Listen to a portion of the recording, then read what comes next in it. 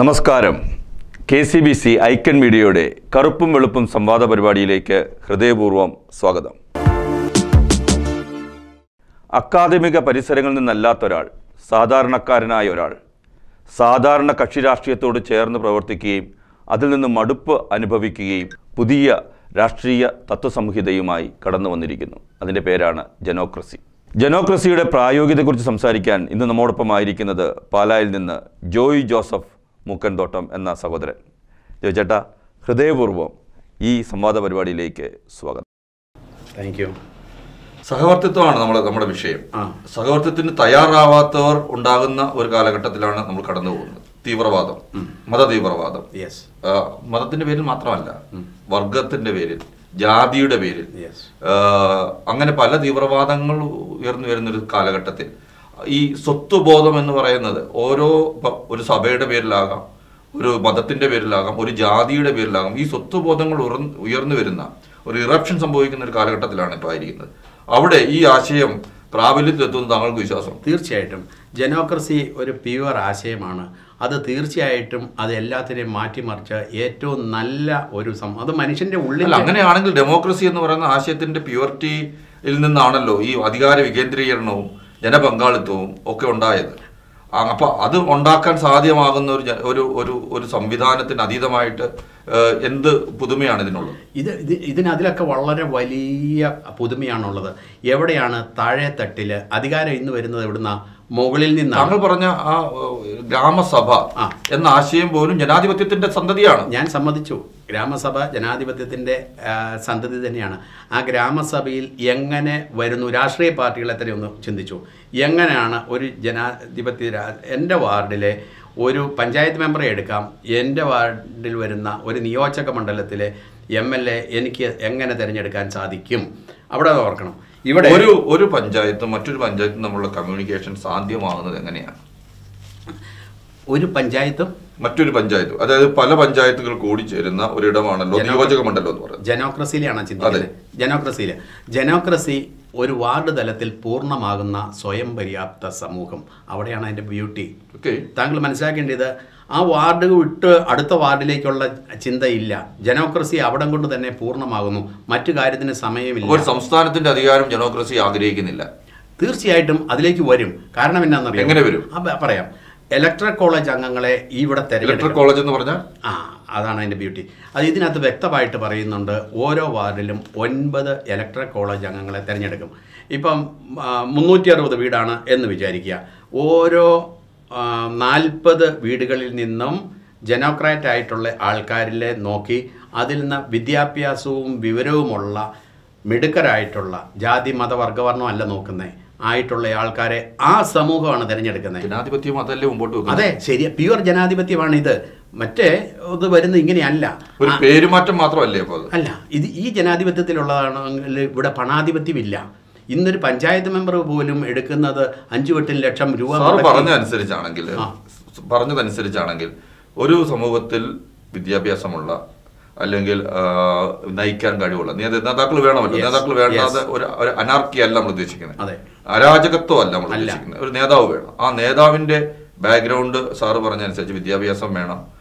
നയിക്കാനുള്ള കഴിവ് വേണം കപ്പാസിറ്റി വേണം. അപ്പൊ അദ്ദേഹമാണ് ചിന്തിക്കുന്നതും അദ്ദേഹമാണ് പ്രവർത്തിക്കുന്നതും അദ്ദേഹത്തിന്റെ ചിന്താഗതിക്കനുസരിച്ച് മുമ്പാ പോകുന്ന ഒരു ഒരു ജനക്കൂട്ടം. അതല്ലേ ജനോക്രസി. ആ അങ്ങനെയല്ല. അവിടെയാണ് അതിന്റെ ബ്യൂട്ടി ഈ സമൂഹ ഒരു ഉദാഹരണം പറയാം അല്ല. ഒരു ഉദാഹരണം ഞാൻ പറഞ്ഞോട്ടെ. ഉദാഹരണം പറഞ്ഞാൽ നമ്മൾ തിരഞ്ഞെടുക്കുന്ന ഒരാൾ അയാൾ നമ്മൾ തിരഞ്ഞെടുക്കുന്ന പ്രതീക്ഷകൾക്കൊത്ത് ഉയരുന്നില്ല. മറിച്ച് സുതാര്യതയില്ലാത്ത പ്രവർത്തനം നടത്തുന്നു അഴിവ് നടത്തുന്നു. എന്ത് പ്രതിവിധിയാണ് ജനോക്രസി പറയാം ഇത് ജസ്റ്റ് ഇതിലൊന്ന് ശ്രദ്ധിച്ചാൽ മനസ്സിലാകും. അതായത് ഡെമോക്രസി ജനോക്രസിയുടെ സിസ്റ്റം തന്നെ പറഞ്ഞു സേവനത്തിന് വേണ്ടിയിട്ടുള്ള ആളെയാണ് തിരഞ്ഞെടുക്കുന്നതെന്ന് പറഞ്ഞു. രണ്ട് ഈ ഇലക്ട്രൽ കോളേജിനെ തെരഞ്ഞെടുക്കും ജനസേവകൻ എന്നാണ് നമ്മൾ ഡെമോക്രസിയിലും അറിയപ്പെടുന്നത്. അതെ അതെ അങ്ങനെ അറിയട്ടെ. ഈ ഇലക്ട്രൽ കോളേജ് അംഗങ്ങളെ തിരഞ്ഞെടുക്കുന്നത് ഒൻപത് തിരഞ്ഞെടുക്കുന്നത് ഈ സമൂഹമാണ്. ഈ സമൂഹമാണ് ഈ ആരൊക്കെ വേണമെന്ന് പറയുന്ന ഒൻപത് ഇലക്ട്രൽ കോളേജ് അംഗങ്ങളെ തിരഞ്ഞെടുക്കുന്നത് എന്ന് പറഞ്ഞാൽ ആ വീട്ടിൽ ആ വീട്ടിലും അയലോക്കത്തെ വീട്ടിലും ആയിട്ടുള്ള അവരാ നല്ലപോലെ അറിയാവുന്ന അവരെ അറിയുന്ന നാടറിയുന്ന നാട്ടുകാരെ അറിയുന്ന എന്ന് പറയുന്നത് അക്ഷരം പ്രതി ശരിയാണ് അങ്ങനെയുള്ള ആൾക്കാരെയാണ് അവർ തിരഞ്ഞെടുക്കുന്നത്. അവർക്കറിയാം ഇവരിത്രയേ ഉള്ളൂ ഇവരിങ്ങനെ സാമുദായിക കക്ഷികൾ കക്ഷി രാഷ്ട്രീയം സാമുദായികം മതപരം. ഇതൊന്നും പ്രവേശിക്കത്തില്ലാത്ത വിധം വാട്ടർ ടൈറ്റ് കമ്പാർട്ട്മെന്റ് ആയിട്ടാണോ തീർച്ചയായിട്ടും. അങ്ങനല്ല. സമൂഹം അങ്ങനെയാണോ? അത് അതിലേക്കാണ് നമ്മൾ കൊണ്ടുവരുന്നത്. ആ സമൂഹത്തിന് അതിനുള്ള ബോധവൽക്കരണം വരുമ്പം അതിന്റെ ആ ബ്യൂട്ടി കാണുമ്പം സമൂഹം ഉറപ്പായിട്ട് അരുതിലേക്കേ പോകുള്ളൂ. കാരണം ഇന്ന് താഴെ തട്ടിലുള്ളവരും ഇപ്പം നയർ സൊസൈറ്റിയിലാണെങ്കിലും മുകളിൽ തട്ടിലും താഴെ തട്ടിലുമുള്ള വിഭാഗങ്ങളെന്നൊക്കെ അവർ പറയുന്നതും ജനോക്രസി അത് ഉണ്ടാകില്ല. കാരണം ക്രിസ്ത്യൻസ് ആണെങ്കിലും ഹിന്ദുസ് ആണെങ്കിലും എല്ലാവരും ഇവർ ഏകോദര സഹോദരങ്ങളെ പോലെ ജീവിക്കുന്ന നാം ഒരു കുടുംബം എന്ന് പറയുന്ന ആ കാഴ്ചപ്പാടുണ്ടല്ലോ. ആ ബ്യൂട്ടിയിലേക്ക് വന്നു കഴിയുമ്പം ഒരു അവിടെ എല്ലാവരും വേണം. ഇപ്പം എനിക്ക് എന്റെ വീട്ടിൽ എനിക്ക് പ്ലംബിങ്ങിന് വേണം വയറിങ്ങിന് വേണം അല്ലെ ഗ്യാസ് കട്ടിങ്ങിന് വേണം അല്ലെ എന്റെ വീട്ടിൽ അടുക്കളപ്പണിക്ക് സഹായിക്കാൻ ആളെ വേണം അല്ലെ എനിക്ക് റബ്ബർ വെട്ടാൻ ആളെ വേണം വിവിധ തരത്തിലുള്ള ആൾക്കാരെ വേണം ഇതെല്ലാം ആ സമൂഹത്തിൽ നിന്നേ പറ്റുള്ളൂ. ഇതാണ് മതേതരത്വം എന്ന് പറഞ്ഞത്. മതേതരത്വ സമൂഹം എന്ന് പറയുന്നത്. അതെ. ഈ മതേതര സമൂഹവും ഇതും സെക്യുലർ എന്ന് പറയുന്ന ഈ അടിസ്ഥാന പ്രമാണവും ഒക്കെയും ജനാധിപത്യത്തിന്റെ നെടും തൂണുകൾ തന്നെയാണ്. അല്ല നെടും തൂണിന് ഈ കുത്തൽ വന്നതും കോട്ടം വന്നതുമാണ് ഇപ്പോഴത്തെ പ്രശ്നം. അല്ലെങ്കിൽ ഡെമോക്രസിയെ നല്ല രീതിയിലായിരുന്നു നേരത്തെ വിഭാവനം ചെയ്തെങ്കിൽ ആ ഡെമോക്രസിക്ക് വർഷങ്ങളായിട്ട് ഇപ്പം ഡെമോക്രസിക്ക് അല്ല വന്നിരിക്കുന്ന ഡെമോക്രസി എന്ന വാക്ക് നമ്മൾ പദം മാറ്റി എന്നുള്ളതുണ്ട്. ഡെമോ എന്ന് പറഞ്ഞാൽ ജനം എന്നാണ് അർത്ഥം. ഡെമോഗ്രഫി ജനസംഖ്യ. അപ്പോ ഏഹ്, വാക്ക് നമ്മൾ മലയാളീകരിക്കുന്നു എന്നുള്ളതല്ലാതെ അതിന്റെ അടിസ്ഥാന പ്രമാണങ്ങൾ ഇപ്പൊ സ്വരാജ് എന്ന് പറയുന്ന അടിസ്ഥാന പ്രമാണം പഞ്ചായത്ത് രാജ് എന്ന് പറയുന്ന അടിസ്ഥാന പ്രമാണം ജനാധിപത്യത്തിൽ തിരഞ്ഞെടുപ്പിന്റെ ഇലക്ട്രൽ പ്രോസസ്സിന്റെ അടിസ്ഥാനം ഇതെല്ലാം കൃത്യമായി പറഞ്ഞാൽ ജനാധിപത്യം തന്നെയായി നിൽക്കവേ നമ്മൾ ഈ ജനോക്രസി എന്ന് പറയുന്ന ആശയത്തിന് ഒരു ഒരു ഉട്ടോപ്യൻ പരിവേഷം കൊടുക്കുകയല്ലാതെ എന്താണ് പുതുമേനത്തം ഇതിനകത്തെ പുതുമ അത് അതാണ് മനസ്സിലാക്കേണ്ടത്. അതായത് ജനോക്രസിയിൽ നമ്മൾ ജനങ്ങളെ എടുക്കുന്നത് ആ ഇലക്ട് സമൂഹത്തിന്റെയിലാണ് പവർ ഇരിക്കുന്നത്. ഇപ്പോഴും അങ്ങനെ തന്നെ അല്ലേ. അല്ല കാരണം? അല്ല ഡെമോക്രസിയുടെ ഡെഫിനേഷൻ എന്നാ? നമ്മുടെ പവർ നമ്മൾ കൊടുക്കുന്നത് എവിടെയാ? നമ്മുടെ നമ്മുടെ പവർ അങ്ങോട്ട് കൊടുക്കുക എന്നിട്ട് എന്നെ ഭരിച്ചോ എന്ന് പറയാ. ഇവിടെ അങ്ങനെയല്ല. ഇവിടെ അങ്ങനെയല്ല ചെയ്യുന്നത് ഇവിടെ പവർ നമ്മളിലാണ് ജനങ്ങളിലാണ്. ഈ താഴെത്തട്ടിലെ ജനങ്ങളിൽ പവർ നിൽക്കും. സേവനത്തിന് വേണ്ടി മാത്രം തിരഞ്ഞെടുക്കുന്നു. അത് മാത്രമേ ഉള്ളൂ. നമ്മുടെ പ്രിൻസിപ്പിൾ അതല്ലേ? അതെ കേട്ടോ. അതാണ് മനസ്സിലായി. ഇന്ന് ഞാൻ ചോദിക്കട്ടെ പ്രിൻസിപ്പലിന്റെ കാര്യം പറഞ്ഞു. ഇന്ന് ഇപ്പോൾ പോളിറ്റ് ബ്യൂറോ പോളിറ്റ് ബ്യൂറോ ഇപ്പോൾ തീരുമാനിച്ചാൽ ഇവിടുത്തെ ചീഫ് മിനിസ്റ്റർ മാറ്റിയല്ലേ മാറും. മാറും. ഹൈക്കമാൻഡ് തീരുമാനിച്ചാൽ ഇവിടുത്തെ സുധാ ഇപ്പോഴത്തെ കോൺഗ്രസിന്റെ ലീഡർ മാറില്ലേ? മാറും. മാറുമല്ലോ? എന്ന് പറഞ്ഞതുപോലെ ജനോക്രസിയിൽ ജനമാണ് തീരുമാനിക്കുന്നത്. എം എൽ എ അല്ലെങ്കിൽ ഇവിടുത്തെ പഞ്ചായത്ത് മെമ്പർ അല്ലെങ്കിൽ ഈ ഇലക്ട്രൽ കോളേജ് അംഗങ്ങളെ ഏത് രീതിയിൽ പോകണം. ഈ ഇലക്ട്രൽ കോളേജ് അംഗങ്ങൾ മോശമായിട്ടാണ് പോകുന്നതെങ്കിൽ അവനെ അവിടെ മരവിപ്പിച്ചു വൺ എന്ന് സിലക്റ്റഡ് വൺ സിലക്റ്റഡ് ഒരിക്കൽ ഇലക്ട് ചെയ്യപ്പെട്ടാൽ അവരെ തിരിച്ചു വിളിക്കാനുള്ള ഓരോ കൊല്ലവും അവർക്ക് നമ്മൾ ഇത് കൂട്ടി കൂട്ടി കൊടുക്കുക. അതേസമയം നിയമസഭയിലെ ഒരു കൊല്ലം സഹിച്ചാൽ പറ്റും. ആ ഒരു കൊല്ലത്തിന് ഒരു കൊല്ലത്തേക്ക് അവർക്ക് എന്താ കാണിക്കാം? ആ അതിന് ചുറ്റും അവരെ മരവിപ്പിക്കും. പകരം അഡീഷണൽ ഒരാളെ വെക്കും. എന്ന് എന്ന് പറഞ്ഞ. ആ എന്ന് അല്ല വേറെ ഒന്നുകൂടെ കേട്ടോ. അതായത് ഈ- ഈ താഴെത്തട്ടിലുള്ള ഒൻപത് ഇലക്ട്രോ കോളേജ് അംഗങ്ങളുണ്ടല്ലോ. ഈ ഇലക്ട്രോ കോളേജ് അംഗങ്ങൾക്ക് ഒരു ഡ്യൂട്ടി ഉണ്ട്. അതാണ് അതിന്റെ ബ്യൂട്ടി അതായത് ഇതിനകത്ത് ഒരാൾ ഇതിനകത്ത് ആ വാർഡിലെ ചെറിയ ചെറിയ കാര്യങ്ങളുണ്ടെങ്കിൽ അതിനുള്ള ഒരു ട്രഷറും അതിനുള്ള ഒരു സെക്രട്ടറിയും രണ്ട് കൺവീനർമാരും ഉണ്ടാകും. ബാക്കി ഒരു അഞ്ച് ഇലക്ട്രിക് കോളേജ് അംഗങ്ങളുണ്ട്. ഈ അഞ്ച് ഇലക്ട്രിക് കോളേജ് അംഗങ്ങളെ ഒരംഗത്തോട് ആലോചിച്ചേ പറ്റുള്ളൂ പഞ്ചായത്ത് മെമ്പർക്ക് അവിടുത്തെ കാര്യം ചെയ്യാൻ. രണ്ടാമത്തെ ഇലക്ട്രിക് കോളേജ് അംഗങ്ങളുമായിട്ട് ആലോചിച്ചേ പറ്റുള്ളൂ ബ്ലോക്ക് മെമ്പർക്ക് അവിടുത്തെ കാര്യം ചെയ്യാൻ. മൂന്നാമത്തെ ഇലക്ട്രിക് കോളേജ് അംഗമായിട്ട് ആലോചിക്കണം. ഈ പറയുന്ന ജില്ലാ പഞ്ചായത്തിലെ ആൾ ഉണ്ടെങ്കിൽ ചെയ്യാൻ. അതുപോലെ തന്നെ നിയമസഭയിലോട്ട് അടുത്ത ആളും പാർലമെന്റിലോട്ടുള്ള ആളും. അതായത് ജനാധിപത്യത്തിന്റെ ഏറ്റവും താഴെ തട്ടിൽ നിന്ന് തന്നെ ഈ പറയുന്ന M P M L A മുഴുവനുള്ള ആൾക്കാരിലേക്ക് വരുന്നു. പൺ ഇപ്പം നടക്കുന്നത് പഞ്ചായത്ത് മെമ്പറാണ് എല്ലാം. പഞ്ചായത്ത് മെമ്പർ ഇതുപോലെ എല്ലാത്തിന്റെയും പവർ പുള്ളിക്ക് കിട്ടുക. എവിടെ പോണേലും പഞ്ചായത്ത് മെമ്പർ. ഈ പഞ്ചായത്ത് മെമ്പർ തീരുമാനിക്കും. അവിടെ പോണോ ഇവിടെ പോണോ. ഈ പഞ്ചായത്ത് മെമ്പർക്ക് ഈ അധികാരം വന്നു കഴിയുമ്പോൾ പിന്നെ തോന്നുന്നതാ അടുത്ത തവണയും ഞാൻ തന്നെ നിൽക്കുന്നുള്ളൂ. വീണ്ടും ഞാൻ തന്നെ നിൽക്കുന്നുള്ളൂ. പിന്നെ വരുന്ന ഇലക്ഷന് സ്ത്രീകളുടെ ആണെങ്കിൽ എന്റെ ഭാര്യയെ നിർത്തണം. അല്ലേ പിന്നെ ഞാൻ പറയുന്ന ജനോക്രസിയിലും അത് തന്നെ ഒരിക്കലും വരില്ല.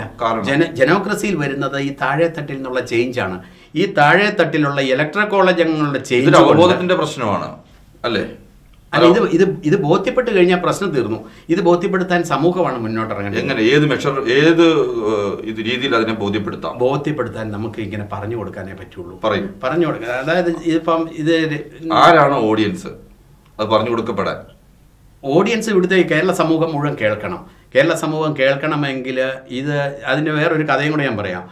ഞാനിത് ഇവിടെ പത്രസമ്മേളനം വിളിച്ച് പറഞ്ഞു നോക്കി. പത്രസമ്മേളനം വിളിച്ച് പറഞ്ഞപ്പോൾ പത്രക്കാരിലെ ഉച്ചകഴിഞ്ഞ് വന്ന ചാനലുകാരിൽ കുറച്ച് പേര് ലോക്കൽ ചാനലിൽ അത് വാർത്തയാക്കി. ഇത് കഴിഞ്ഞ് പത്രക്കാരോട് ഞാൻ പറഞ്ഞു നല്ലതുപോലെ ഇത് വായിച്ചിട്ട് വേണം എഴു എഴുതാൻ ഇന്ന് തന്നെ എഴുതണം എന്നില്ല. നോക്കിയിട്ട് പറഞ്ഞു കൊടുത്തു വിട്ടു. ഓരോരുത്തർക്കും കൊടുത്തു. ഇവർ ഭംഗിയായിട്ട് മൂന്ന് പത്രക്കാർ എഴുതിയെന്ന് എന്നോട് പറഞ്ഞു. എഴുതിയിട്ട് അവരുടെ ഡെസ്കിൽ തടഞ്ഞു വെച്ചിരിക്കുകയെന്ന് പറഞ്ഞു. അപ്പോൾ എനിക്ക് മനസ്സിലായി ഞാനത് പല ദിവസം കഴിഞ്ഞ് ചോദിച്ചു ഇതുവരെ വന്നില്ലല്ലോ? എന്ന് പറഞ്ഞപ്പോൾ അവർ പറഞ്ഞു ആ സമയത്ത് ഒ ഐ ഒ പി എന്ന് പറയുന്ന സംഘടന പത്രം ബഹിഷ്കരിക്കുന്ന ഒരു സമയം മറ്റോ വന്നു. അപ്പോൾ ഇങ്ങനെയുള്ളതിനെ വളർത്തിയാൽ പത്രം ബഹിഷ്കരിക്കും.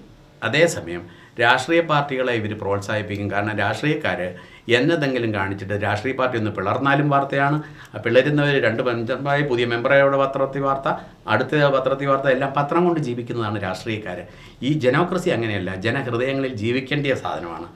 യഥാർത്ഥത്തിൽ മാധ്യമങ്ങളെക്കുറിച്ചുള്ള തങ്ങളുടെ നിരീക്ഷണം കുറച്ചുകൂടി വിശാലമാകേണ്ടിയിരിക്കുന്നു. കാരണം ഇത്തരം ആശയങ്ങളെ പത്രപ്രവർത്തന ചരിത്രം തന്നെ ഗാന്ധിജി ആകട്ടെ ഗാന്ധിജിയുടെ ആശയങ്ങളാകട്ടെ എല്ലാം ഈ ഈ ഇന്ത്യ മഹാരാജ്യത്തിലെ ജനങ്ങളിലേക്ക് എത്തിയത് വായിക്കാനും വായിക്കാനും അറിയാവുന്ന ആളുകളിലേക്ക് എത്തിയത്.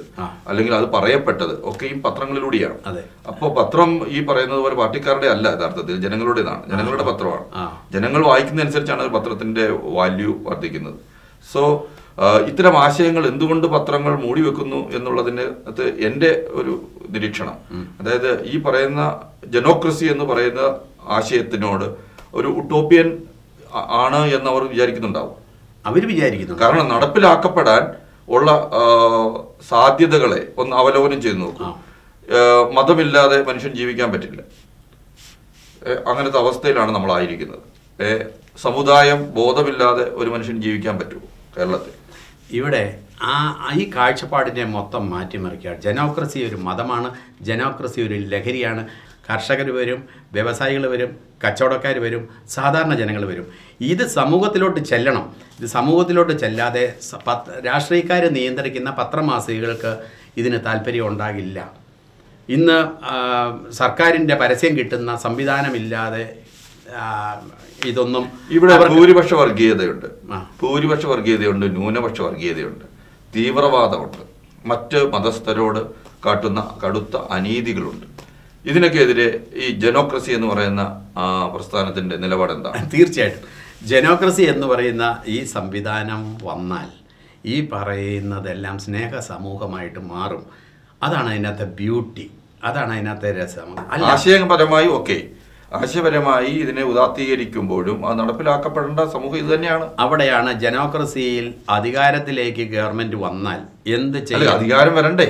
അതെ അധികാരത്തിലേക്ക് വന്നാൽ നിയമ ഇത് ഞാൻ പറഞ്ഞല്ലോ പഞ്ചായത്തുകളിൽ പഞ്ചായത്തുകൾ നടക്കുന്ന ഒരു കാര്യം നിയമസഭാ മണ്ഡലങ്ങളിൽ എങ്ങനെ പ്രാവർത്തികമാക്കാം? ഈസി ആയിട്ട്. പറയും. സിമ്പിളായിട്ട് ഈ നിയമസഭാ മണ്ഡലങ്ങളിൽ എങ്ങനെയാണോ ഒരു പഞ്ചായത്തിൽ എങ്ങനെയാണെന്ന് മനസ്സിലായോ? ഒരു പഞ്ചായത്തിലെ ഇലക്ട്ര കോളേജ് വഴി പഞ്ചായത്ത് മെമ്പറെ തിരഞ്ഞെടുക്കുന്നു. അതിന് പോലും ഒരു വാട്സാപ്പ് ഗ്രൂപ്പ് പഞ്ചായത്ത് മെമ്പറുകൾ കൂടി ചേരുന്ന പഞ്ചായത്ത് പ്രസിഡന്റ് ആവുന്നു. പ്രസിഡന്റ് ആവുന്നു. ആ അപ്പോൾ ഒരു പഞ്ചായത്തിൽ ഒരു പഞ്ചായത്തിൽ കൂടി വന്നാൽ ഇലക്ട്ര കോളേജ് ഒരു പതിമൂന്ന് വാർഡുകളുള്ള ഒരു ഇതാണ് പതിമൂന്ന് ഗുണം ഒൻപത്. അത്ര ഇലക്ട്ര കോളേജ് അംഗങ്ങളെ ഉള്ളൂ. ഇങ്ങനത്തെ ഒരു എട്ടോ പത്തോ പഞ്ചായത്തുകളോ ഒരു മുനിസിപ്പാലിറ്റിയോ ആണ് ഒരു നിയോജക മണ്ഡലം എന്ന് പറഞ്ഞാൽ ഒരു ആയിരത്തി മുന്നൂറ് ഇലക്ട്ര അവരാണ് വോട്ട് ചെയ്യുന്നത്. അവരല്ല. ആയിരത്തി മുന്നൂറോളം ഇലക്ട്ര കോളേജ് അംഗങ്ങളാണ് ഒന്നിച്ചു കൂടി തീരുമാനിക്കുന്നത് ആര് നിയമസഭയിലോട്ട് വേണമെന്നുള്ളത്. ആ നിയമസഭാ ഇലക്ഷന് പോലും സാമ്പത്തിക ആവശ്യമില്ല. ഇന്ന് കോടികൾ മുടക്കി ഇലക്ഷൻ നടത്തുന്നു. പഞ്ചായത്ത് മെമ്പർക്ക് പോലും കോടികൾ മുടക്കുന്നു. ഇവിടെ യാതൊരു പൈസ മുടക്കില്ലാത്ത സ്ഥാനാർത്ഥിയെ ഇവിടുന്ന് നമ്മൾ കണ്ടെത്തുന്നു. അതാണ് അതിന്റെ ഭംഗി.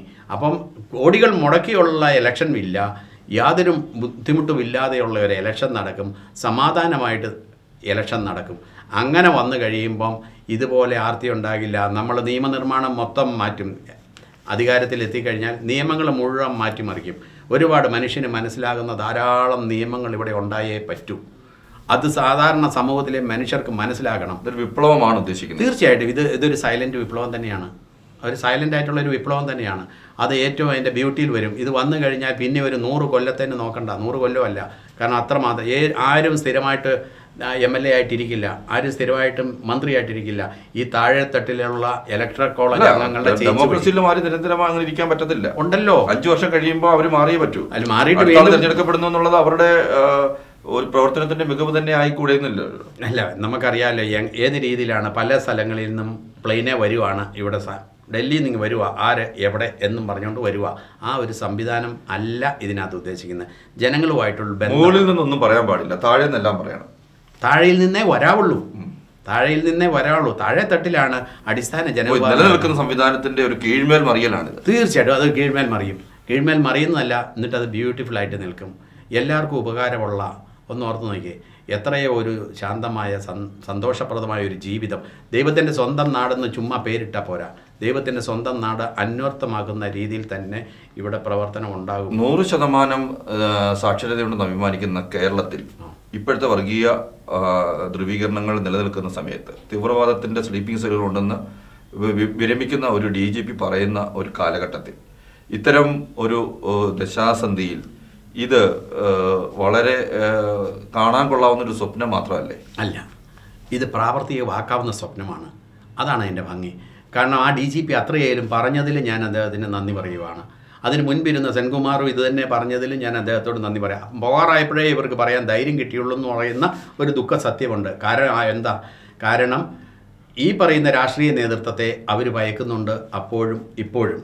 അല്ല ഇതാ ഇത് ജനോക്രസിയിലും അധികാരത്തിലെത്തുന്നവരെ ബ്യൂറോക്രസി ഭയപ്പെട്ടേ മതിയാവും എന്ന അവസ്ഥയാണ്. ബ്യൂറോക്ര ബ്യൂറോക്രസിയെ ബ്യൂറോക്രസി ആയെ നമ്മൾ വരച്ച വരയിൽ അവിടെ നിൽക്കും. ബ്യൂറോക്രസി ഈ പറയുന്ന. പരിപാടി അല്ല വരച്ചവരെ നിർത്തിയതാണ് ഈ പ്രശ്നം. അല്ല ബ്യൂറോക്രസിയെ ബ്യൂറോക്രസി അല്ല ഇവിടെ എല്ലാം വരച്ചവരെ നിൽക്കുന്നില്ല. കാരണം നമ്മൾ ഓർക്കുന്നുണ്ടോ? ഒരു കുറച്ച് മുൻപ് എന്തുകൊണ്ട് അവർ അവസാനം പറഞ്ഞു? അത് രാഷ്ട്രീയത്തിൽ വന്നവർ അല്ലെങ്കിൽ അധികാരത്തിലുള്ളവർ പറഞ്ഞ വരയിൽ അവിടെ നിന്നുകൊണ്ടാണ്. അത് അതിനോട് ഞാൻ യോജിക്കുന്നു. അത്ര ശക്തമാണ് അധികാര രാഷ്ട്രീയം പക്ഷേ ബ്യൂറോക്രസി പലയിടത്തും. അത്തരം അധികാര രാഷ്ട്രീയത്തിലേക്ക് എത്തിച്ചേരാനുള്ള വഴിയായിട്ട് തന്നെയാണ് ജനോക്രസി നിൽക്കുന്നത്. ഒരിക്കലുമല്ല അങ്ങനെ അങ്ങനെ അങ്ങനെ ഒരു അധികാര രാഷ്ട്രീയ കാരണം ഇത് സ്ഥിരമായിട്ട് വരുവാ ഇവിടെ ഒരാൾ രണ്ട് തവണയും മൂന്ന് തവണയായിട്ട് അല്ല അത് ജനം തീരുമാനിക്കാത്തതുകൊണ്ടല്ലേ? ജനം ജനം തീരുമാനിക്കാത്തതുകൊണ്ടല്ലേ? നമ്മൾ ജനത്തെ മാറ്റി ചിന്തിക്കാൻ നമ്മൾ പ്രേരിപ്പിക്കുക ജനോക്രസി ജനത്തെ മാറ്റി ചിന്തിക്കേണ്ട കാര്യമില്ല. ജനം ഉള്ള കഴിവ് പ്രകടിപ്പിച്ചാൽ മതി മതി. ഈ കാര്യങ്ങളൊക്കെ നടപ്പിലാക്കും. പുതിയൊരു സംവിധാനത്തിന്റെ ആവശ്യം വരുന്നില്ല. ഫോർ എക്സാമ്പിൾ ജനോക്രസി എന്ന് പറയുന്നതിന്റെ മറ്റൊരു വശം. ഡെമോക്രസി എന്ന് പറയുന്ന ആദ്യത്തെ നിലനിൽക്കുന്ന ഈ സംവിധാനത്തിൽ നമുക്ക് അഴിമതിരഹിതമായ ഭരണത്തിനുള്ള സാധ്യതയുണ്ട്. അഴിമതി നടത്തുന്നവരെ പിടിക്കാനുള്ള സംവിധാനങ്ങളുണ്ട്. ക്രമസമാധാന സംവിധാനങ്ങളുണ്ട്. ഇന്റലിജൻസ് സംവിധാനങ്ങളുണ്ട്. ഈ പറയുന്ന പോലെ അധികാര വികേന്ദ്രീകരണ സംവിധാനങ്ങളുണ്ട്. ത്രീ ടയർ മൂന്ന് ത്രിതല പഞ്ചായത്തുകളുണ്ട്. ഇങ്ങനെയുള്ള സംവിധാനങ്ങളെല്ലാം നിലനിൽക്കുന്നു. ഇതൊന്നും ശരിയായിട്ട് നടക്കാത്ത പ്രശ്നമേ ഉള്ളൂ. അതെ ചെറിയാതെ നടക്കാത്തതും ഒറ്റ പ്രശ്നം സംവിധാനം വന്നുകൊണ്ടല്ലല്ലോ കാര്യം. അല്ല. നിൽക്കുന്ന കാര്യങ്ങൾ ശരിയായി നടന്നാൽ മതി. അതെ അത് നടത്താനുള്ള സിസ്റ്റത്തിന്റെ ജനോക്രസി എന്ന പേര് അപ്രസക്തമാകുന്നു അല്ല ആകുന്നില്ല എപ്പോഴും അത് ജനോക്രസി പ്രസക്തമാണ്. കാരണം ഇവിടെ എന്താണെന്നറിയോ ഈ സിസ്റ്റത്തെ മാറ്റിമറിക്കാൻ വേറൊരു സിസ്റ്റത്തിനെ പറ്റുള്ളൂ. എനിക്കൊരു ലക്ഷ്യമുണ്ട്. എനിക്ക് ആ ലക്ഷ്യത്തിലേക്ക് എനിക്ക് ചെല്ലണം. പക്ഷേ എന്റെ ലക്ഷ്യം നല്ല എല്ലാവർക്കും ഭക്ഷണം വേണം വസ്ത്രം വേണം പാർപ്പിടം വേണം ശുദ്ധജലം വേണം അതുപോലെ തന്നെ ശുദ്ധവായു വേണം സാമൂഹ്യ സുരക്ഷ വേണം. ഇതൊക്കെ വളരെ പ്രധാനപ്പെട്ട കാര്യമാണ്. എല്ലാവരും ആഗ്രഹിക്കുന്നതാണ്. എന്തുകൊണ്ട് ഇത്രയും കാലമായിട്ട് ഈ ജനാധിപത്യ സംവിധാനത്തിൽ ഇതുവരെ ഇതൊന്നും പൂർത്തീകരിക്കാൻ പറ്റുന്നില്ല? എന്തുകൊണ്ട്? അപ്പോൾ അവിടെ എന്തോ തകരാറുണ്ട്. അപ്പോൾ നമ്മുടെ മാർഗം മാറ്റണം. നമ്മുടെ മാർഗം നമ്മൾ മാറ്റിയേ പറ്റുള്ളൂ. ലക്ഷ്യം നമ്മൾ ഒന്നായിരിക്കില്ല? മാർഗം മാറ്റിയാൽ പറ്റി. മാർഗം മാറി ഈ മാർഗത്തിലൂടെ പോയാൽ സാധിക്കുമെന്ന് നോക്കണം. അതാണ് ജനോക്രസി പറയുന്നത്. നിങ്ങളുടെ ഡെമോക്രസിയുടെ അധികാരം ഇന്ന രീതിയിലാണ് നിൽക്കുന്നത്. നിങ്ങൾക്ക് ഇന്ന രീതിയിൽ ഈ ബ്യൂറോക്രസിയെ നിയന്ത്രിക്കാൻ പറ്റുന്നില്ല. നിങ്ങൾക്ക് ഇന്ന രീതി ബ്യൂറോക്രസിയിലും അത് മാത്രമല്ല ട്രേഡ് യൂണിയനെ പോലും നിങ്ങൾക്ക് നിയന്ത്രിക്കാൻ പറ്റുന്നില്ല.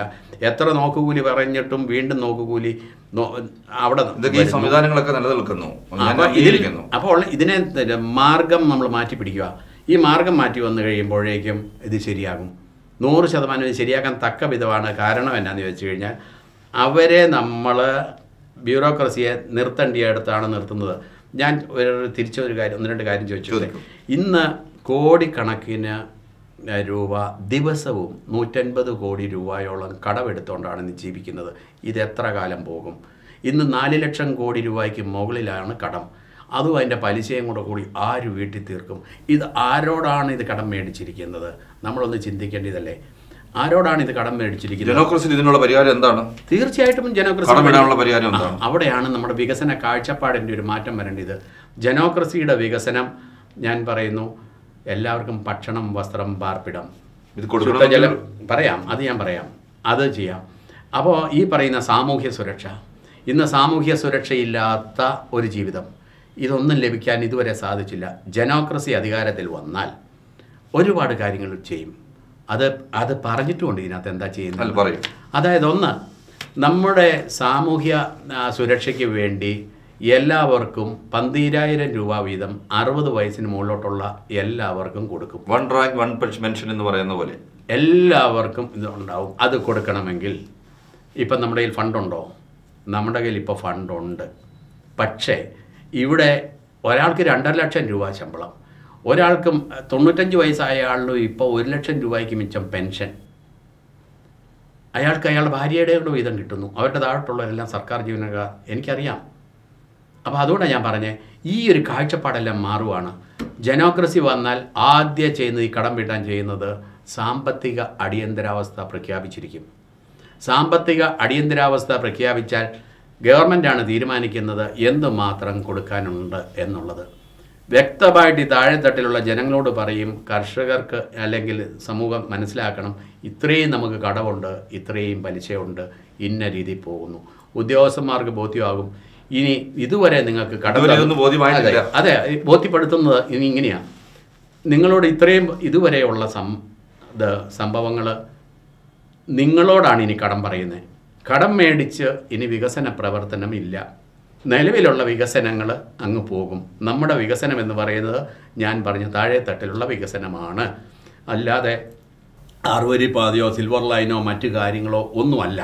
വികസനം എന്നത് താഴെത്തട്ടിലോട്ട് വന്ന് എല്ലാവർക്കും വരുന്ന ഒരു കാഴ്ചപ്പാടിലേക്കാണ് ജനോക്രസിയുടെ നോട്ടം. അപ്പോൾ ഈ പറയുന്ന എല്ലാവർക്കും സാലറി എന്ന് പറയുന്നത് ജീവിക്കാനുള്ളത് കൊടുക്കും. മുഖ്യമന്ത്രിക്ക് പോലും മുപ്പതിനായിരം രൂപയെ സാലറി ഉണ്ടാവുള്ളൂ.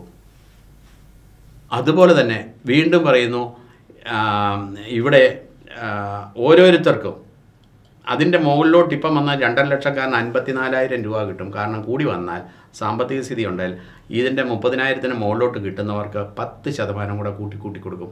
ഒരു ലക്ഷംകാരന് മുപ്പത്തേഴായിരം കിട്ടും രണ്ട് ലക്ഷംകാരന് നാൽപ്പത്തൊമ്പതിനായിരം കിട്ടും രണ്ടര ലക്ഷംകാരന് അമ്പത്തിനാലായിരം രൂപ കിട്ടും. അത്രയേ കിട്ടുള്ളൂ. ബാക്കി പണം മുഴുവൻ ഇവിടെ ഉണ്ട്. ഇതെല്ലാം താഴെ തട്ടിലോട്ട് നമ്മൾ ഷെയർ ചെയ്യും.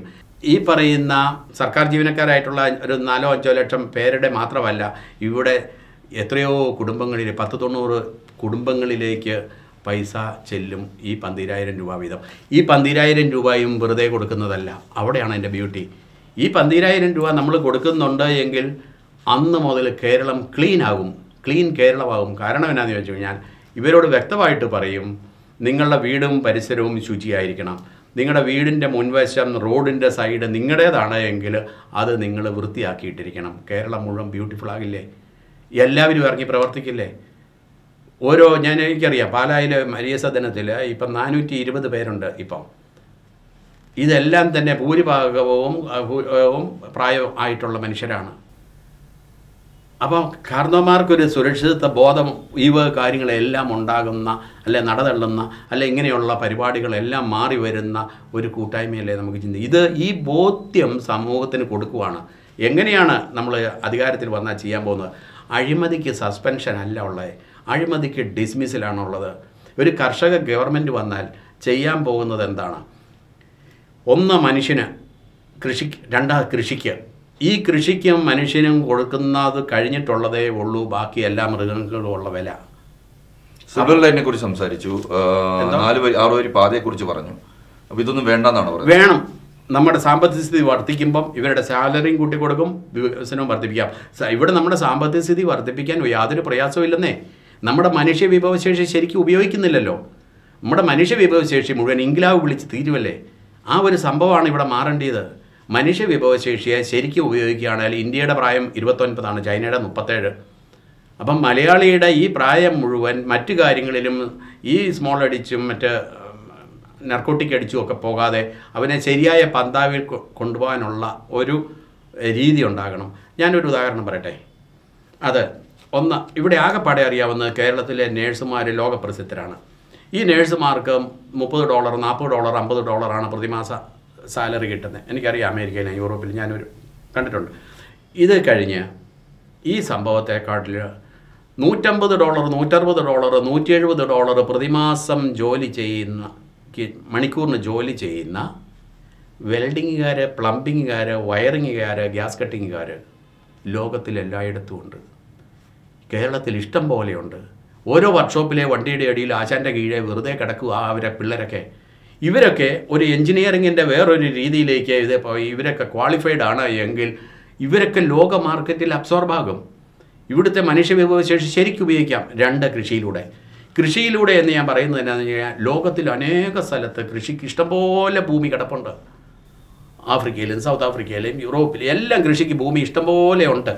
ഇവിടെ മനുഷ്യ വിഭവശേഷിയുണ്ട് ഈ മനുഷ്യ വിഭവശേഷിയെ കൃഷിക്ക് ഉപയുക്തമാക്കുന്ന രീതിയിൽ ഇവിടെ നല്ലപോലെ പഠിപ്പിച്ച് നല്ല രീതിയിൽ അവരെ വിട്ടാൽ ഇവർ പോയി ലോകത്തിൽ നല്ല സുന്ദരമായിട്ട് കൃഷി ഉണ്ടാക്കും അവർ ഇവിടുത്തെ കൂലിപ്പണിയല്ല അവരവിടെ ചെയ്യുന്നത് ലോകത്തിലെ ഞാൻ പറഞ്ഞല്ലോ കർഷകർ മുഴുവൻ ധനവാന്മാരാന്ന് പറഞ്ഞില്ലേ? ഈ പറഞ്ഞതുപോലെ ഇവിടെയുള്ള ഈ ചെറുപ്പക്കാരൊക്കെ നല്ല മിടുക്കരായിട്ട് കൃഷി നല്ലപോലെ പഠിപ്പിച്ചാൽ അവർ നല്ല നിലയിലേക്ക് ആയി പോകേണ്ടതല്ലേ ഈ അത് തന്നെയാണോ? ഇവിടം വൃത്തിയായാൽ ഈ കേരളം വൃത്തിയായാൽ ടൂറിസം എത്രയോ ഭംഗിയായിട്ട് വരും. ഇവിടെ ഇവിടെ ഡച്ചുകാരും പോർച്ചുഗീസുകാരും ഇവരൊക്കെ എന്തിനാണ് വന്നത്? ഇവർ വന്നത് നമ്മുടെ സൗന്ദര്യം കാണാനല്ല ഇവർ വന്നത്. ഇവർ വന്നത് നമ്മുടെ ഇവിടുത്തെ ഈ ഉൽപ്പന്നങ്ങൾ കുരുമുളകും ജാതിക്കായും ഏലവും ഇങ്ങനെയുള്ളതെല്ലാം അതിന് കാണാനും അതിന്റെ ഗുണം അറിഞ്ഞുകൊണ്ട് വന്നവരാ കറുത്തപ്പന് നമുക്കറിയാമല്ലേ അപ്പോൾ ഈ സാധനങ്ങൾ ഇപ്പോഴും ലോക മാർക്കറ്റിലോട്ട് പോകുന്നില്ലേ? എന്നാൽ ഇതിന്റെ മൂല്യവർദ്ധിത ഉൽപ്പന്നമാക്കി ഇവിടുന്ന് പോകണ്ടേ? കേരളത്തിന്റെ മുഴുവൻ ഉൽപ്പന്നങ്ങളും മൂല്യവർദ്ധിത ഉൽപ്പന്നമാക്കി മാത്രമേ കേരളത്തിന് പുറത്തോട്ട് പോകുള്ളൂ അങ്ങനത്തെ ഒരു ഗവൺമെന്റാണ് ജനോക്രസി വിഭാവനം ചെയ്യുന്നത്. അല്ലാതെ എല്ലായിടത്തും ഇംഗ്ലാവും വിളിച്ച് സമരവും ചെയ്ത് ഉള്ള ഒരു സംഭവം അല്ല. കർഷകന് വേണ്ടിയുള്ള ഒരു ശബ്ദമാണ് ഈ പറയുന്നത്. കർഷകർക്ക് വേണ്ടിയുള്ള ഒരു മഗ്നക്കാർട്ട് എന്നാ അതിന് പറയേണ്ടത്? അതാണിത്. അത് മനസ്സിലാക്കിയാൽ സമൂഹം രക്ഷപ്പെട്ടു. അത് മനസ്സിലാക്കും എന്നേലും. കാരണം വേറൊരു ഓപ്ഷൻ ഇല്ല. ഇത് വന്നാൽ ആർക്ക് വേണ്ടിയാ? ഇവിടെ എല്ലാം മൂല്യവർദ്ധിത ഉൽപ്പന്നങ്ങളാക്കുവാണെങ്കിൽ എത്രയോ മാറ്റങ്ങൾ ഉണ്ടാകേണ്ടതാണ് ഞാൻ മീനച്ചി പഞ്ചായത്തുകാരനാണ് മീനച്ചി പഞ്ചായത്തിൽ ഞാനൊരു കർഷക സംഘം ഇപ്പം രൂപീകരിക്കുന്നുണ്ട്. ഇരുപത്തിയഞ്ച് പേരെയാണ് അവിടെ എടുത്തിരിക്കുന്നത്. ഇരുപത്തിയഞ്ച് പേരുടെ കർഷക ഗ്രൂപ്പ്. കിസാൻ സർവീസ് സൊസൈറ്റി എന്ന് പറയുന്ന ഒരു ഗ്രൂപ്പ് എന്നോട് പറഞ്ഞു ജോയിച്ചേട്ടൻ അവിടെ നിങ്ങളൊരു നിങ്ങൾക്ക് ആശയമുണ്ട് എങ്കിൽ അതിനുള്ള പ്രോജക്റ്റ് റിപ്പോർട്ട് ഞങ്ങൾക്കുണ്ട്. അതിനുള്ള മെഷീനറി ഞങ്ങൾ തരാം അതിനുള്ള ട്രെയിനിങ് ഞങ്ങൾ തരാം അതിനുള്ള ഫണ്ട് തരാം. ഞങ്ങളല്ല തരുന്നത്? കേന്ദ്ര ഗവൺമെന്റാണ് തരുന്നത്. അപ്പോൾ ആശയമുണ്ടോ എന്ന് ചോദിച്ചു. ഞാൻ പറഞ്ഞു എനിക്ക് ആശയമേ ഉള്ളൂ. എന്താണ് ആശയം? മീനച്ചി പഞ്ചായത്തിലെ മുഴുവൻ ഉൽപ്പന്നങ്ങളും മൂല്യവർദ്ധിത ഉൽപ്പന്നമാക്കിയ പഞ്ചായത്തിന് പുറത്തോട്ട് വിടുകയുള്ളൂ. സാധിക്കുമോ? അപ്പോൾ അതിനുള്ള സ്പേസ് ഞങ്ങൾ തരാം. ഞങ്ങളൊരു അഞ്ചോ ആറോ ഏക്കർ സ്ഥലം ഇതിനു വേണ്ടിയിട്ട് മാറ്റിയിടാം. അതിലേക്ക് ഒരു അഗ്രി ഒരു വെജിറ്റബിൾ പാർക്ക് പോലെ നമ്മളത് ചെയ്യാം. അപ്പോൾ ചെയ്യുമ്പം ഓരോന്നിനും തേങ്ങയാണെങ്കിൽ വെളിച്ചെണ്ണയാക്കിയും അതിന്റെ ഉള്ള രീതിയിൽ വേണ്ട രീതിയിൽ. കാരണം എന്നാന്ന് ചോദിച്ചു കഴിഞ്ഞാൽ ഒരു ഗ്രാം വെളിച്ചെണ്ണയ്ക്ക് ഒരു രൂപയ്ക്ക് കൊടുക്കാൻ പറ്റും. ഞാൻ നെയ്വേലി ലിഗ്നൈറ്റിലെ അവരുടെ ഗസ്റ്റ് ഹൗസിൽ ഞാൻ കിടന്നപ്പം കണ്ടതാണ്. ഒരു ഗ്രാം വെളിച്ചെണ്ണ ഒരു രൂപ മതി. അത് മതി. തലയിൽ തേക്കാനും ദേഹത്ത് പുരട്ടാനും ഒരാൾക്ക് ഒരു ദിവസം. ഒരു ഗ്രാം വെളിച്ചെണ്ണയ്ക്ക് ഒരു രൂപ എന്ന് പറഞ്ഞു കഴിഞ്ഞാൽ കിലോ ആയിരം രൂപയായോ? ഇതുപോലെ എല്ലാം മൂല്യവർദ്ധിത ഉൽപ്പന്നങ്ങളാക്കാൻ പോകേണ്ട സംഭവങ്ങൾ ഇവിടെ ഉണ്ട്. ഇങ്ങനെ ചെയ്യുവാണെങ്കിൽ ഇതിനകത്തൊരു ടൂറിസമുണ്ട് ഇവിടെ ദൈവത്തിന്റെ സ്വന്തം നാട്ടായിട്ട് ടൂറിസംകാരെ വിളിക്കുന്നുണ്ട്. ഇത് കാണാൻ വേണ്ടി ധാരാളം പേര് വരും. കേരളത്തിലെ ഇത് ഇതിനൊക്കെ ഒരു ബോധവൽക്കരണത്തിന്റെ അത്യാവശ്യമേ അല്ലേ ഉള്ളൂ? ഒരു ഒരു ഒരു സിസ്റ്റം അതായത് ഇതുപോലെ ഒരു പൊളിറ്റിക്കൽ തിയറി ആവശ്യമുണ്ടോ? ഇല്ല തീർച്ചയായിട്ടും. ഇത് ബോധവൽക്കരണം കൊണ്ട് മാത്രം പോരാ. അധികാരമുണ്ടെങ്കിലേ ഈ വക കാര്യങ്ങൾ നടപ്പിൽ വരുത്താൻ പറ്റുള്ളൂ. അധികാരത്തിലേക്ക് എത്താനുള്ള വഴി ഇപ്പോഴും ജനാധിപത്യം മുമ്പോട്ട് വെക്കുന്നുണ്ട് അല്ല ആശയം തന്നെ. അല്ല ജന ആ ആശയത്തിലുള്ള കാഴ്ചപ്പാടിൽ നിന്ന് മൊത്തം മാറിയിട്ട് ജനോക്രസി എന്ന ആശയത്തിൽ വന്നാൽ ഇതെല്ലാം പ്രാവർത്തികമാക്കാൻ പറ്റും. കാരണം ഇന്നിപ്പോൾ ആയിരത്തി അല്ല രണ്ടായിരത്തി പതിനൊന്നിലാന്ന് തോന്നുന്നു. കാട്ടുപന്നിയുടെ കൊല്ലുന്ന കാര്യവും അതിനുള്ളത് പഞ്ചായത്തിന് തീരുമാനിക്കാമെന്ന സുപ്രീം കോടതിയുടെ വിധി വന്നിട്ട് ഇതുവരെ തീരുമാനിച്ചിട്ടില്ല. പതിനൊന്ന് കൊല്ലമായി. പത്ത് പതിനൊന്ന് കൊല്ലമായിട്ട് മിനിങ്ങാന്നും കാട്ടുപന്നി കുത്തിയ ആൾ മരിക്കുന്നു. ആരോടാ പറയുന്നേ? അതേസമയം സുപ്രീം കോടതി വിധി വന്നു എന്ന് പറയുമ്പോൾ തന്നെ ഇന്ത്യയിൽ നിലനിൽക്കുന്ന സംവിധാനങ്ങളെ കുറിച്ചല്ല നമ്മൾ പറയുന്നത് സംവിധാനം നടപ്പിലാക്കപ്പെടുന്ന അതിന്റെ സുതാര്യത ഇല്ലായ്മനെ കുറിച്ചും അതിന്റെ അവധാനത്തെ കുറിച്ചും നമ്മൾ സംസാരിക്കേണ്ടത്. അതില്ലാതാക്കാൻ പുതിയൊരു സിസ്റ്റം എന്ന രീതിയിൽ ജനോക്രസി വന്നാലും ഇതൊക്കെ പ്രിവെയിൽ ചെയ്യത്തില്ല എന്നുള്ളത് ഉറപ്പില്ല. തീർച്ചയായിട്ടും പറ്റും. ആ രണ്ടായിരത്തി പതിനൊന്നിലെ വന്ന ലെറ്ററിന് മറുപടി പറഞ്ഞുകൊണ്ട് ഇരിക്കുകയും വെറുതെ എഴുത്തുകൂത്തുകളുമായിട്ട് ഇരിക്കുകയും കാലതാമസപ്പെടുത്തുകയാണ് ചെയ്യുന്നത്. അവിടെയാണ് മറ്റേത്. കർഷകരോട് താല്പര്യമുള്ള കാർഷിക മേഖലയ്ക്ക് ഊന്നൽ കൊടുക്കുന്ന ഒരു ഗവൺമെന്റ് വന്നാൽ നിമിഷ നേരം കൊണ്ട് തീരുമാനങ്ങൾ ഉണ്ടാവും. പിറ്റേ ദിവസം മുതൽ ആ പഞ്ചായത്തിന് തീരുമാനിക്കാന്ന് സംവിധാനത്തിൽ സാധ്യമാണല്ലോ. അവർ തീരുമാനം എടുക്കുന്നില്ല എന്നുള്ളതല്ലോ ഇല്ല.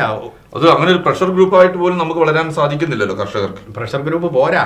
അതല്ലേ പറഞ്ഞ. അധികാരത്തിലേക്ക് കർഷകൻ എത്തണം. ചോദിക്കട്ടെ താങ്കൾ വിചാരിക്കുന്നത് പോലെ ഈ കർഷക ഗ്രൂപ്പ് എന്ന് പറയുന്ന കർഷകരുടെ ഗവൺമെന്റ് എന്നൊക്കെ പറയുന്ന ഈ സംവിധാനങ്ങൾ ഇപ്പൊ നിലനിൽക്കുന്ന സംവിധാനങ്ങളോട് ബാർഗെയിൻ ചെയ്യാൻ കഴിയുന്ന തരത്തിലുള്ള ഒരു പ്രഷർ ഗ്രൂപ്പ് പോലും ആകാനുള്ള യോഗ്യത ഒരു ഐക്യം അല്ലെങ്കിൽ ഒരു ഉണർവ് ഇപ്പോഴും ഇല്ലല്ലോ. അതെ. ജനോക്രസി എന്ന് പറയുന്ന ആശയം അതിന്റെ പൂപ്പ സ്റ്റേജിൽ നിന്ന് തുടങ്ങിയതല്ലേ ഉള്ളൂ. ഈ ഈ കോവിഡ് കാലത്ത് തുടങ്ങിയ ഒരാശയമല്ലേ? ഒരു കോവിഡിന് ലോകം മുഴുവൻ പ്രചരിക്കാൻ എത്ര സമയമെടുത്തു? മനസ്സിലായോ? അപ്പോൾ അതിലും വളരെ പെട്ടെന്ന് തന്നെ ആശയത്തെ പ്രചരിപ്പിക്കാൻ മേലെ മനുഷ്യന് താല്പര്യമുണ്ട് എങ്കിൽ താല്പര്യമുണ്ടാകുന്ന ഞാനിപ്പോൾ ഇവിടെ വന്ന താങ്കളോട് ഇത് പറഞ്ഞുകൊണ്ടിരിക്കുന്ന ഈ സമയം ഇത് കേൾക്കുന്ന ചിലപ്പോൾ ആയിരങ്ങൾ കാണാം. അവ അവർക്കത് മനസ്സിലാകുകയില്ല. ഇതിനകത്ത് പറയുന്നതിൽ എന്തെങ്കിലും കഴപ്പുണ്ടോ എന്ന് അവർക്ക് തോന്നിയാൽ അത് പതിനായിരങ്ങളിലേക്ക് വീണ്ടും പോകില്ലേ ഷെയർ ചെയ്ത്. അങ്ങനെയല്ലേ വരേണ്ടത്?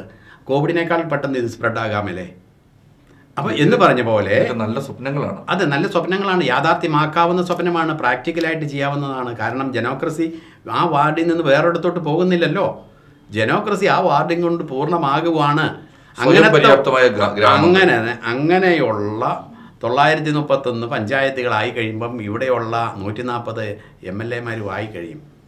അത് സ്വപ്നമാണെന്ന് വെറുതെ പറയാം. പക്ഷേ അതെന്താണെന്നറിയാമോ സ്വപ്നമാണെന്നും അല്ലെങ്കിൽ ഉട്ടോപ്യൻ ചിന്താഗതിയാണെന്നും പറയുന്നത് അതിന്റെ ആ കൂട്ടായ്മയുടെ ശക്തിയെപ്പറ്റി മനസ്സിലാക്കണം. ഒരു തീക്കൊള്ളിയായിട്ട് നമുക്കിങ്ങനെ പോകുമ്പോൾ അത് കെട്ടുപോകും. ഇതിനെ നമ്മളൊരു തീപ്പന്തമായിട്ട് തന്നെ നമ്മൾ മാറ്റും. അതാണ് ഉണ്ടാകാൻ പോകുന്നത്. ഇങ്ങനെ പറയുന്ന ഇങ്ങനെ എയറിൽ കൂടെ പോകുന്ന കാര്യങ്ങൾ ഒരു തീപ്പന്തമായിട്ട് വരും. ഇത് കാട്ടുതീയേക്കാളും ഭയങ്കരമായിട്ട് ശക്തമായിട്ട് വരും. ഒരിടത്ത് ഇത് വന്നാൽ ഇത് ഏറ്റെടുക്കാൻ ശക്തിയുള്ള ആൾക്കാർ ഇതിന്റെ പിന്നിലേക്ക് വരും. അതിനിതൊക്കെ കഴിവുള്ള ഇവിടെ ഉണ്ട്. അപ്പോൾ അവരൊക്കെ ഇതിലേക്ക് വന്നാൽ ഇത് വളരെ സ്പ്രെഡാകും. ലോകം മുഴുവൻ ഉറ്റ് ഉറ്റുനോക്കി ട്വന്റി ട്വന്റി പക്ഷേ അത് അതിന്റെ അത് താഴെത്തട്ടിൽ നിന്ന് വന്നിരുന്നെങ്കിൽ ഇതായിപ്പോയേനെ അത് അങ്ങനെയുള്ള ഒരു ആശയമല്ല അത് ഈ ആശയത്തിൽ കൂടിയായിരുന്നെ തീർച്ചയായിട്ടും അത് നടപ്പിൽ വന്നേനെ. ഇപ്പം വൺ ഇന്ത്യ വൺ പെൻഷൻ ലക്ഷക്കണക്കിന് ആൾക്കാർ ആഗ്രഹിക്കുന്നുണ്ട്. അത് പെൻഷൻ കിട്ടും എന്ന് പറയുന്ന ഒരു ചിന്താഗതി ആ ഒരു ആഗ്രഹം കൊണ്ടാണ് അത് ഷെയർ ചെയ്യുന്നത്. കഴിഞ്ഞ ഒരു ദിവസം പാലായിൽ ഇവരുമായിട്ടൊക്കെ ബന്ധമുണ്ടോ? അല്ല കഴിഞ്ഞ ഒരു ദിവസം കോട്ടയത്തിന്റെ ഒരാൾ എന്നെ വിളിച്ച് കോട്ടയം ജില്ലയിലെ ഇന്നത് ഓരോ പരാപോ എന്ന് ചോദിച്ചു. ഞാൻ പറഞ്ഞു എനിക്ക് നിങ്ങളുടെ ട്വന്റി ഇതിനോട് അല്ല വൺ ഇന്ത്യ വൺ പെൻഷനോട് എനിക്ക് സപ്പോർട്ടുണ്ട് പക്ഷേ എന്റെ ആശയം ജനോക്രസിയാണ്. ജോയിച്ചേട്ടൻ വന്ന് ജനോക്രസിയും കൂടെ പറയാമെന്ന് പറഞ്ഞു. ഞാൻ ചെന്ന് അവിടെ ജനോക്രസി പറഞ്ഞു. അവർക്കത് വളരെ താല്പര്യപ്പെട്ടു. അപ്പോൾ അതിനകത്തെ മെയിൻ ആൾക്കാർ ഇപ്പോഴും എന്നോട് ബന്ധപ്പെട്ടുകൊണ്ടായിരിക്കുന്നത്.